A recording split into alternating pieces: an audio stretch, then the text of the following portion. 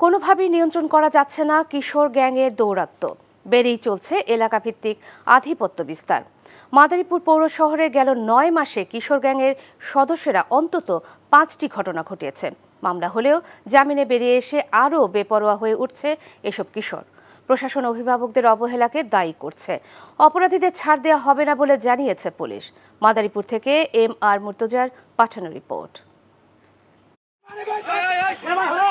গত সাতই August private class থেকে তুলে এনে দশম শ্রেণির শিক্ষার্থী সৈকত সর্দারকে পিটিয়ে মারাত্মক জখম করে কিশোর গ্যাংয়ের সদস্যরা। সেই দৃশ্য মোবাইল ফোনে ধারণ করে তারাই ছড়িয়ে দিয়েছে সামাজিক যোগাযোগ মাধ্যমে। ঘটনার পর থানায় মামলা করেছেন আহতের বাবা। এ ঘটনায় চারজন গ্রেপ্তার হলেও পরবর্তীতে জামিনে বেরিয়ে এসে দিচ্ছেন প্রাণনাশের হুমকি। কিছু আসামি ভয় ভয়ভীতি দেখাইতেছে। তো যদি ভয়ভীতি দেখাই থাকে, তাহলে আমাদের মানে বাচ্চাটা খুব কষ্ট হবে। আসামি ধরে আসামি বাইরে হয়ে যায়। এরা পাঁচটা দিনও জেলে আজ পর্যন্ত থাকল না। এর মানে কি? সরকার কি উদাসীন বা প্রশাসন কি উদাসীন?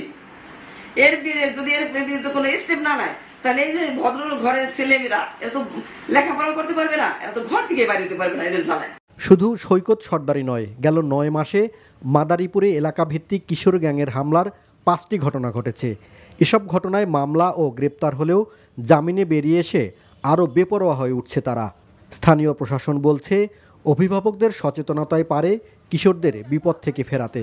তাদের সন্তান কোথায় যাচ্ছে কি করছে তাদের পড়াশোনা ঠিকমতো করছে কিনা আম, তাদের যে পাড়া প্রতিবেশী আছে বা বন্ধু বান্ধব আছে তারা কার সাথে মিশছে এই বিষয়গুলো যেন আমাদের অভিভাবক যারা আছেন তারা যেন একটু খেয়াল রাখেন।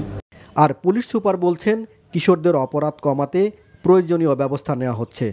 আমরা কোনো ইনফরমেশন পাই কোনো অপরাধের, তখন কিন্তু আমরা তাদেরকে আইনের আওতায় নিয়ে এসে বিজ্ঞ আদালতে কিন্তু প্রেরণ করছি। তা আমি মনে করি যে এটা হচ্ছে যে আমরা আইন শৃঙ্খলায় যারা কাজ করি, আমরা যারা পুলিশের লোক, আমাদের যেমন দায়িত্ব আছে, তার চেয়ে বড় দায়িত্ব হচ্ছে একটি পরিবারের, এই সমাজে ইপটিজিং মহল্লা ভিত্তিক বখাটেমনা মাদক সেবন, এলাকায় প্রভাব বিস্তার সহ পরিকল্পিত হত্যাকাণ্ডে অংশ নিচ্ছে উঠতি বয়সের তরুণরা।